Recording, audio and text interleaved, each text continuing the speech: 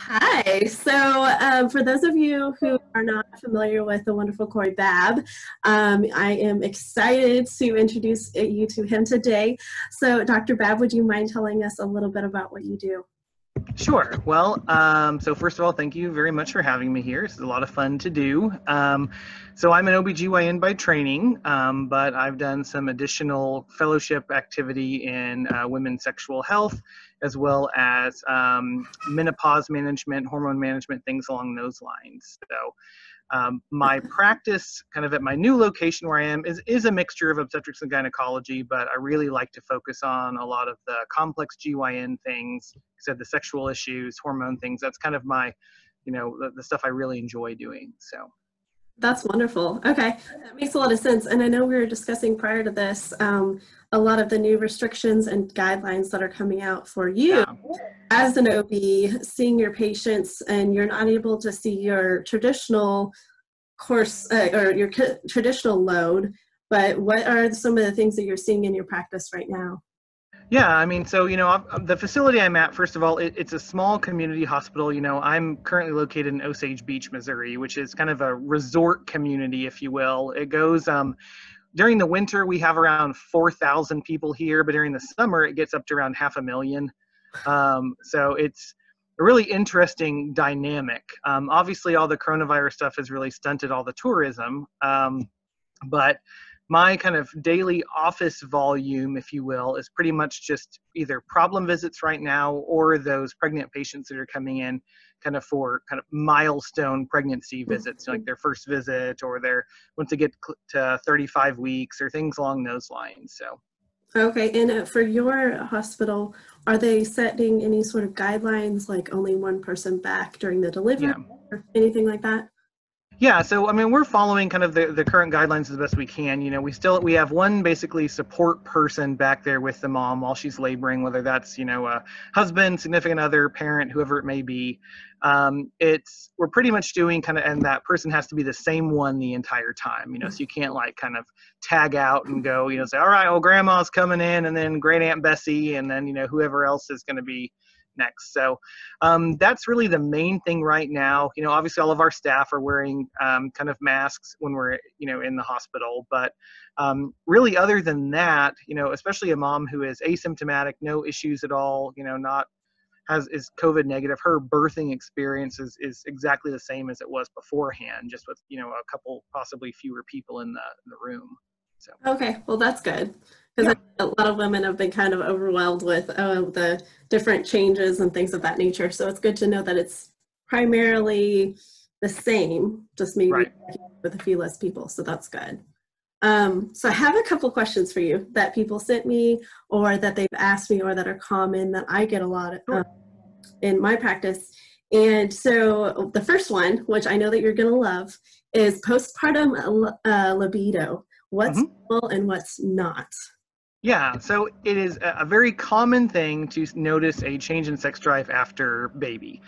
Um, you know, and you can look at this from a bunch of different factors. You know, so sex drive itself is governed by this what's called biopsychosocial interaction. And so what I mean by that is, you know, kind of the anatomical changes, the hormonal changes that are going on, kind of the emotional swings and changes that go along with you know in, in, postpartum's case like kind of that whole you know side of things.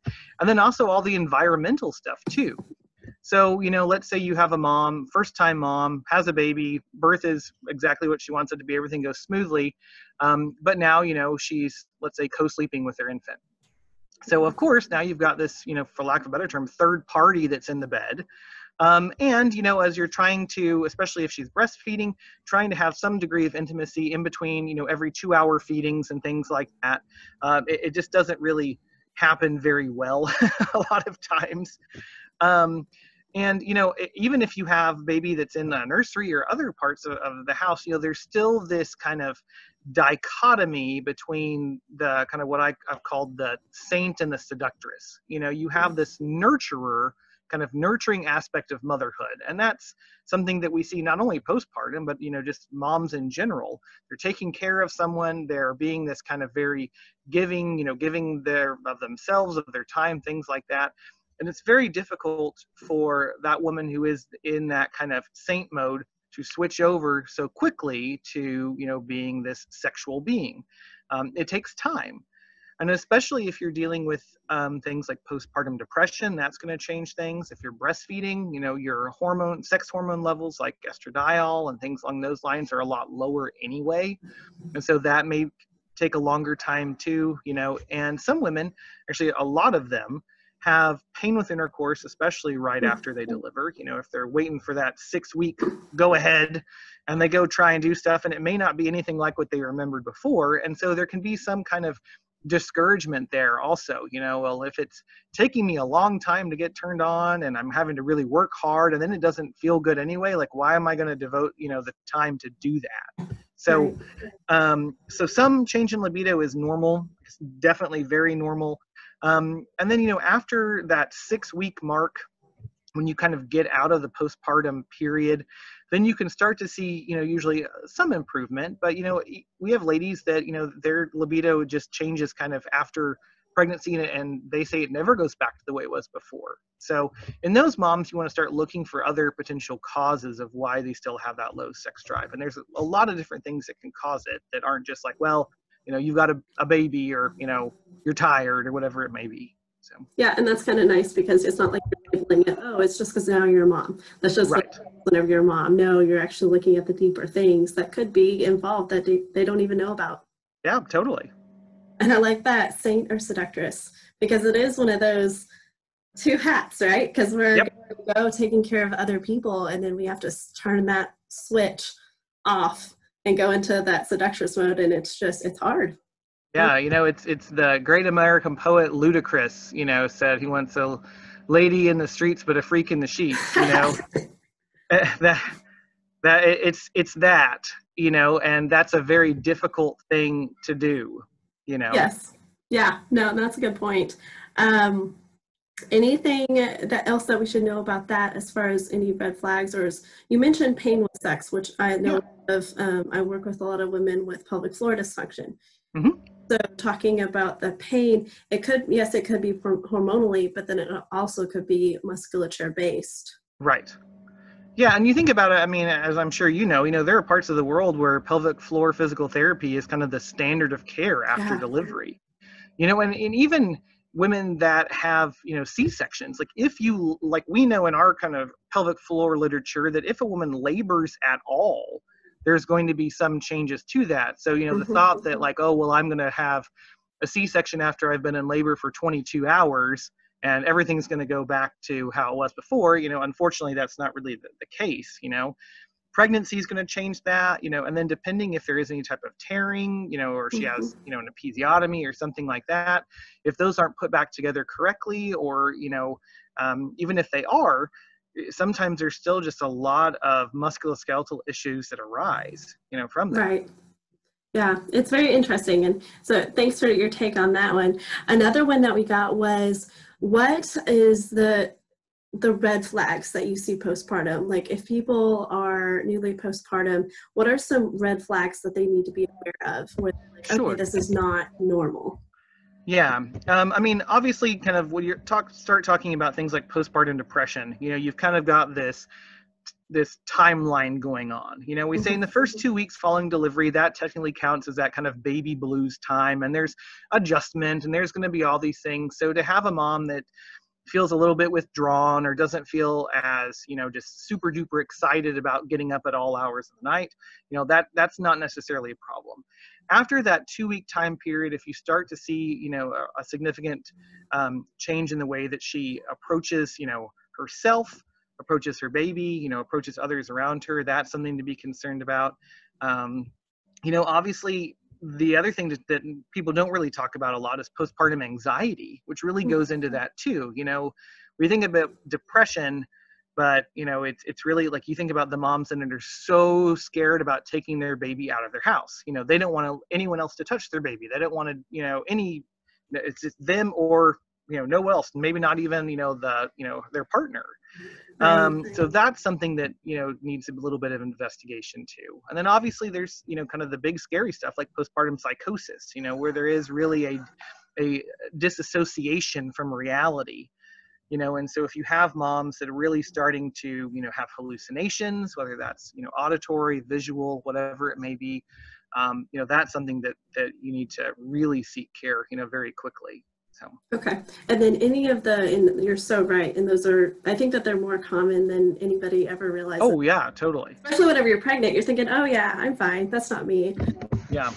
Then it kind of hits you and you're like whoa okay so this right. is the thing. Yeah. Um, as far as the physical signs so maybe with hemorrhaging or anything like that mm-hmm. if those sorts of red flags that people need to be aware of? Yeah, you know, and kind of the typical discharge instructions that we give are, you know, if you start, you know, bleeding, um, um well, first of all, so bleeding after delivery, very normal. Medical term for that is lochia. You know, it's kind of this dark brownishy, icky smelling type thing, you know, basic. But um, you know, postpartum hemorrhage, especially what's called delayed postpartum hemorrhage, which is something that can happen weeks even after delivery. Um, you know, if you start bleeding to where you're soaking through more than one pad an hour, and by soaking, I mean you could literally wring blood out of that mm-hmm. pad. That is not normal. Um, now, after about two weeks after delivery, um, a lot of women will pass kind of a, a little or it looks kind of like a tissue mass or things like that, that's actually the scab from where the placenta attached. Mm. So that is not, you know, a problem.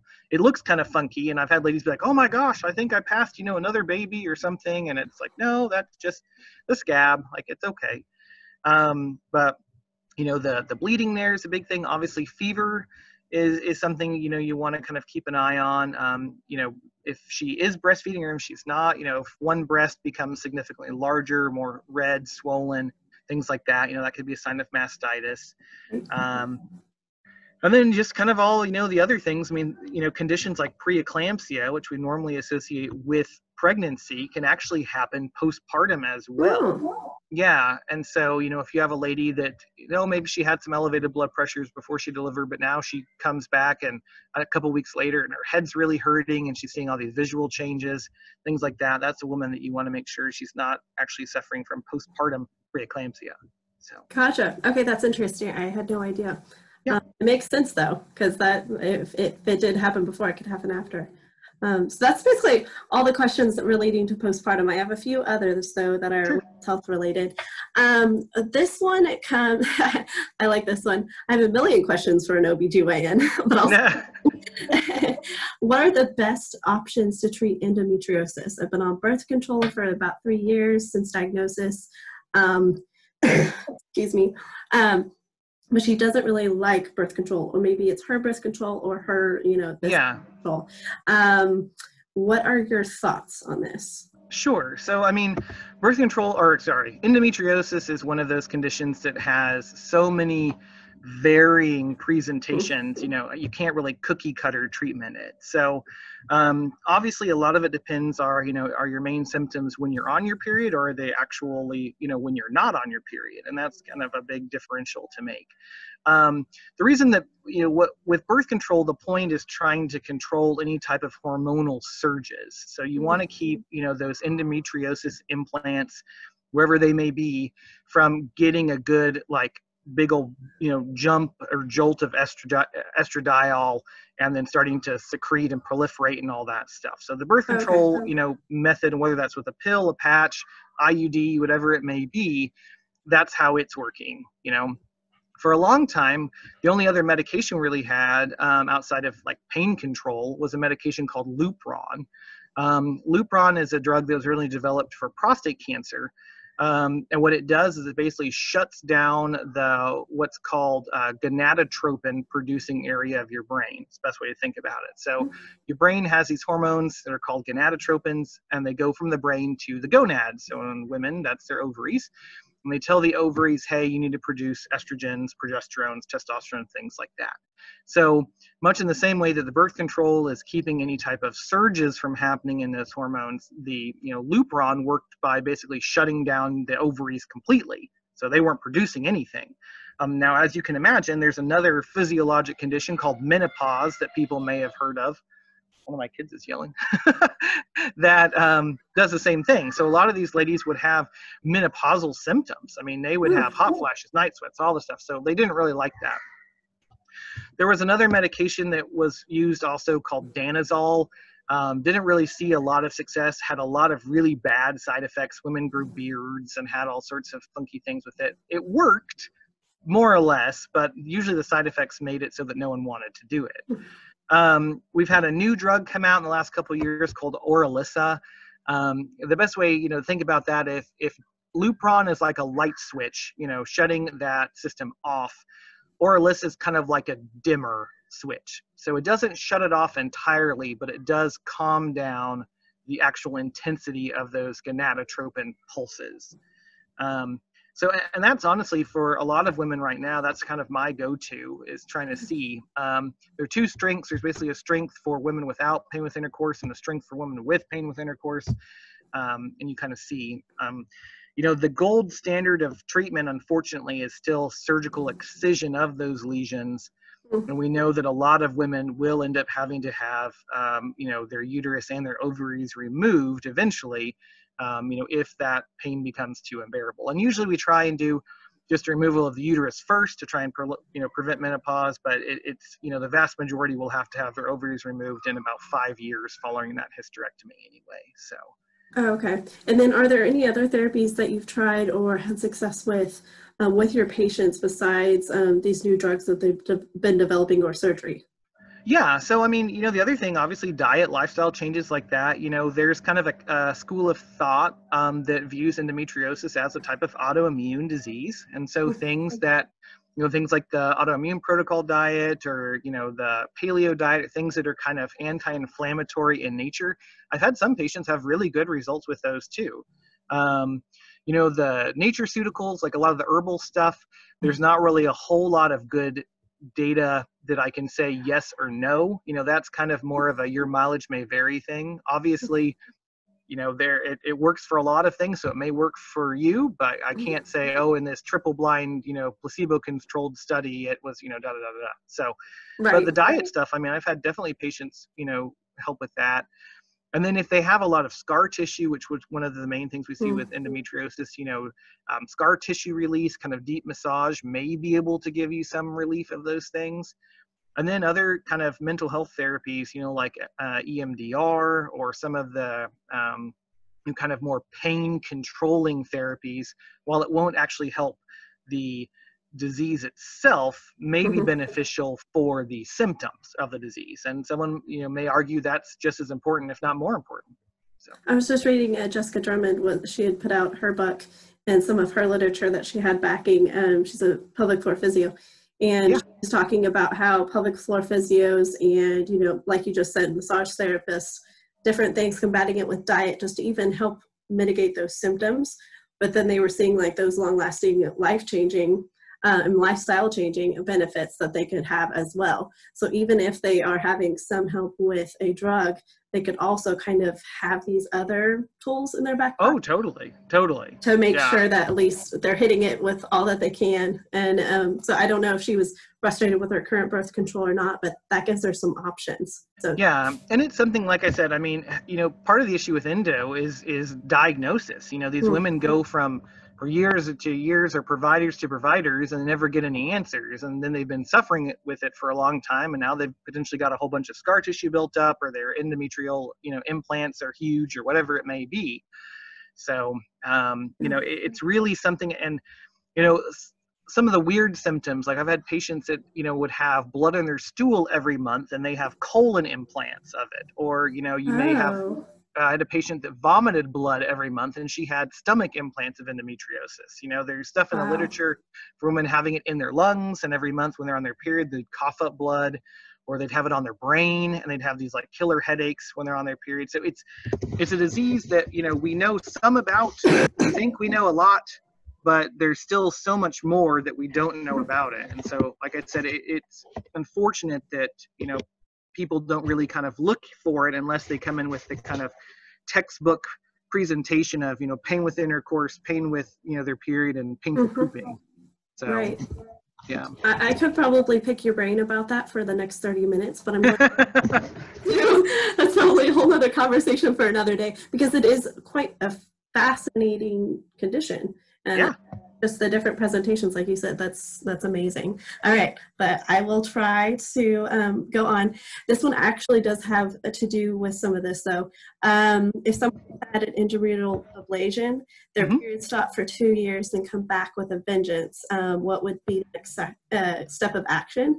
I have horrible menstrual cycles and they came back with a vengeance. Yeah. It feels like she's dying every time that she hits menstruation.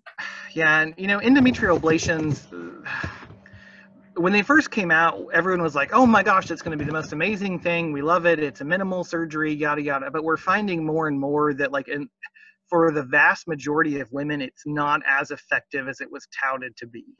Um, and you know, so the the old statistics were something like, um, you know, 75% of women had no more periods for the rest of their life, and 20% had a good decrease, but then that remaining 5% had you know either no change or or they had you know things were worse.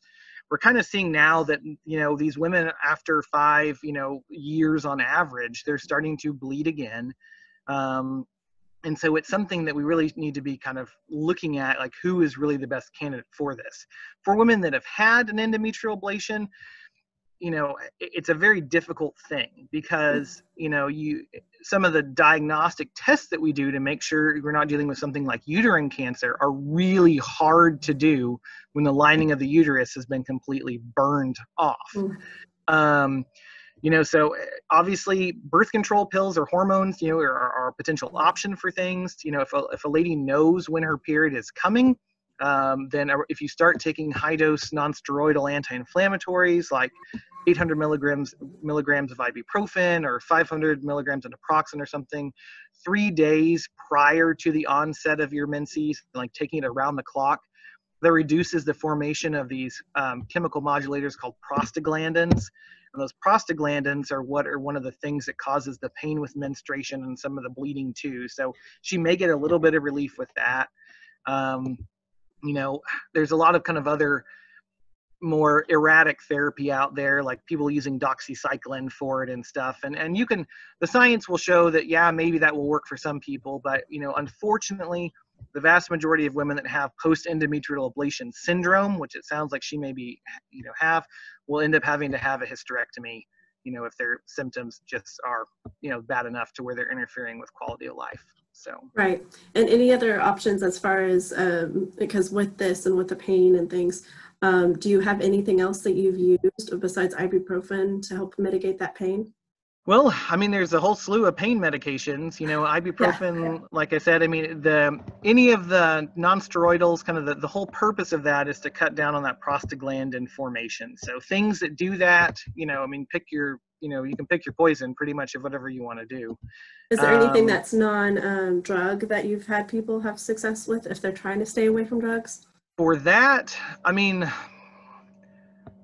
you know, obviously you like looking into some like herbal therapies and things like that you know once again it's kind of a case by case thing right um you know obviously you could do i've had some patients you know um, do kind of like the um, golden milk you know kind of a mixture of like turmeric and mm-hmm. ginger and things like that and they've said that that's been a little bit beneficial you know obviously the kind of therapeutic modalities like heat and, and exercise and stuff like that you know yeah. you raise your endorphin levels and maybe it's not as bad um, you know but you know in terms of like visceral massage i don't there are some osteopathic manipulative techniques that we have that we can use for um, you know pain like dysmenorrhea or painful periods.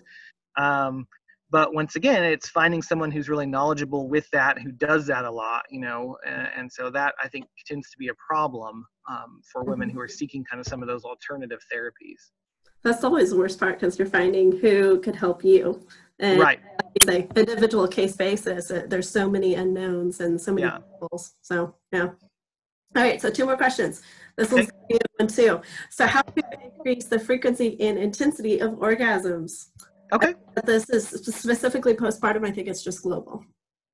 Yeah, so you know, orgasm as a physiologic function. The reason that we orgasm is kind of twofold. The first thing, from just a anatomical standpoint, you know, with sexual arousal, so whether that's, you know, an erection um, of the penis, erection of the clitoris, or kind of, you know, any type of kind of blood rushing to the genital region, if that were to stay there, it would become mm-hmm. very, very uncomfortable and could be problematic. You know, if you've seen a Viagra commercial, it's like, you know, if you have an erection lasting for more than four hours, seek, you know, medical care.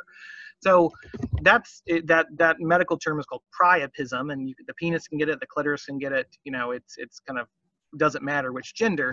But so orgasm from a physiologic standpoint causes a massive amount of vasoconstriction. So it causes the blood vessels in the genitals to contract and it shunts blood away from the genitalia, thereby reducing the probability or the possibility of having that priapism or having those other things. So so medications that kind of help that um, kind of function you know oxytocin actually is something that's released with orgasm and that's kind of goes into the second reason why we orgasm and that's to you know kind of have that bonding with a potential partner with a potential mate.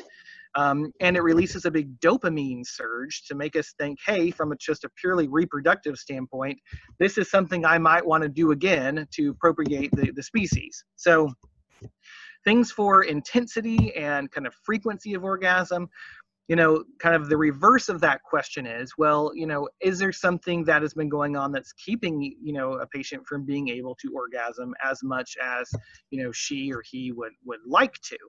Um, so, but you know, obviously, the longer that you have, you know, foreplay, kind of the more stimulation to, you know, specific kind of erogenous areas, and that's something that every, you know, woman should probably try and figure out on their own. You know, where, like, what stimulation actually helps you orgasm? Is it clitoral stimulation? Is it, you know, deep penetration? Is it nipple stimulation? Whatever, you know, there's statistics for all of these things about, you know, who does what and what not. Um, vast majority of women, clitoral stimulation is required orgasm. So, you know, if you have a lady that, let's say, you know, we'll just use kind of the, the pregnant lady. Now she is postpartum and she is not orgasming as much what is going on? Well, it could be that she's having a hormonal deficiency that's causing that clitoris to not be as sensitive. You know, sometimes there can be nerve damage, um, you know, especially if she had a really big baby. The pudendal nerve, which is a nerve that comes out of your sacrum, kind of has three branches, and one goes to your clitoris, one goes to your perineum, the area between your vagina and your rectum, and one goes to the rectum itself. Well, if that pudendal nerve gets damaged, she may not feel as much from, you know, that clitoral stimulation and therefore not orgasm as much. Um, certain medications like, you know, SSRIs, so antidepressant medications, Prozac, um, Paxil, you know, anything that's kind of in that um, in that family, in order to orgasm, you have to have a very significant drop in serotonin. And the reason that those medications work for depression is that they keep your serotonin at this kind of high hum. So it's harder to overcome that and drop that. So those, you know, people may have a decrease, you know, frequency of orgasm with that. Um, so, you know, there are lots of different devices out there that, you know, patients can try if they're having difficulty with orgasm or having, you know, more intensity. And the other thing is to, you know, figure out like, is there a specific, you know, position with sexual activity that feels good? if a woman is unable to orgasm with a partner, but she is able to orgasm with masturbation, you know, it may be something then that kind of making sure that you're talking with your partner about that. You know, I mean, sex should be fun. Um, it shouldn't be something that, you know, you kind of dread. And so if it's something that, you know, you're apprehensive about or you don't feel you can talk to your partner, you know, maybe there are, way, there are a bunch of different ways to kind of get to where, you know, you can kind of direct their attention to where it needs to be if you will and not like a hey that doesn't feel good do that you know type standpoint. Um, he said as far as oxytocin goes you can actually compound oxytocin into wafers or into creams or things like that and that can help sometimes. Um, you know the uh, other thing like for some ladies especially if they're having a difficult time getting aroused and therefore having a hard time you know having an orgasm we'll use viagra for them honestly, mm. it works just for women, same way it does for men. Pre, you know, improves blood flow to the area. Mm-hmm. So, yeah. And that's kind of cool because it, I, and I'm, I'm from the Bible Belt, right? Like here in yeah. There's not a lot of sex ed, so a lot of right. don't even know that there's options or things out there. So just more educating themselves is going to be huge. Yeah. just being able to be aware. Um, so yeah, no, thank you for that. Um, sure is what I was talking about earlier. So I need to know if he does telehealth. yes. So actually, former patient. Yeah. So, um, you know, outside of all the coronavirus stuff, you know, we were getting ready to start doing that, but actually, since um, that's hit, you know, all of the the whole kind of medical group that I'm part of up here, like we're doing telehealth for a lot of things. You know, I had three telehealth visits on, you know, on Friday. So, um, you know, it, it's definitely something to do. It's really easy. You know, we typically we've used Zoom has kind of been our platform so far. I don't know if it's going to stay that way, but um, you know, and, and there's a, been a lot of changes. It used to be that telehealth became a lot more, um, or it was a lot harder to do from like a you know insurance standpoint and stuff like that. But all the coronavirus stuff has made it actually very very accessible. So Yeah, that, I've I've heard that from professions across the board, from mhm. to you know physical therapy, things of that nature. yeah, Someone like, oh yeah, we do want appointments still, so we'll fix yeah, it. of course. So, yeah. Well, thank you so much for these questions. I really do appreciate it. Oh, Uh, it's my pleasure. I I will let people know how to find you and things of that nature so that they can check you out. But thank you so much Great. for joining me. Yeah, my pleasure. Have a great rest of your day. You too. Bye. All right, bye.